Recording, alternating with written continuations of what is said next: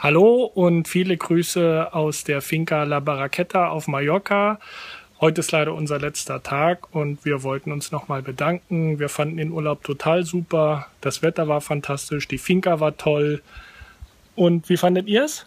Super. Cool. Also das Meer ist toll, der Pool ist cool. Ja. Alles war prima. Fantastischer Ausblick. Achtung. Tolles Wetter, sehr ruhig. Wir kommen gern wieder. Tschüss. Ciao. Finca Yorka. Dein Finca-Urlaub.